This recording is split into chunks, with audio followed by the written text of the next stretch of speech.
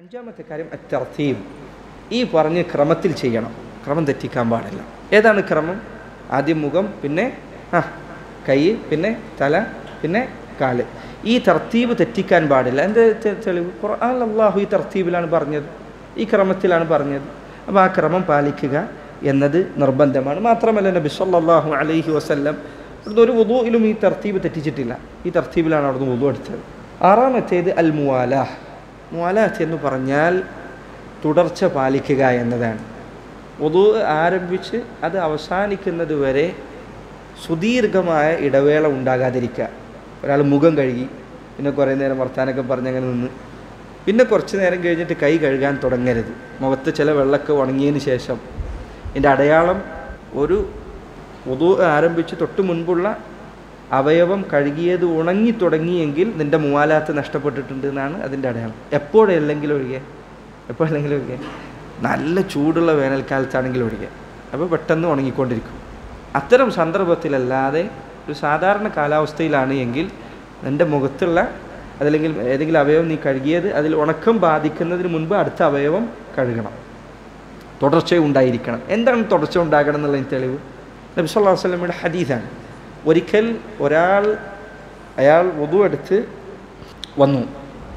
അയാളുടെ കാലിന്റെ മടമ്പു ഭാഗത്തായി ഒരു ദീനാറിന്റെ വലുപ്പത്തിൽ ഒരു ചെറിയ നാണയത്തൊട്ടിന്റെ വലുപ്പത്തിൽ ഉണക്കമുണ്ട്.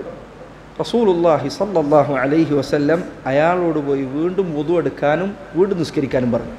അതിനെന്ത് മനസ്സിലാക്കാം? ഉണക്കുള്ളത് എവിടെ? കാലുമലാണ് നീ പോയി ആ കാൽ മാത്രം ഒന്ന് കഴുകി വന്ന എന്നാണോ പറഞ്ഞത്? അല്ല ഒതു ആദ്യം മുതൽ ആവർത്തിക്കാൻ പറഞ്ഞു. എന്തുകൊണ്ട് ഒതുവിന്റെ തുടർച്ച നഷ്ടപ്പെട്ടതുകൊണ്ട്?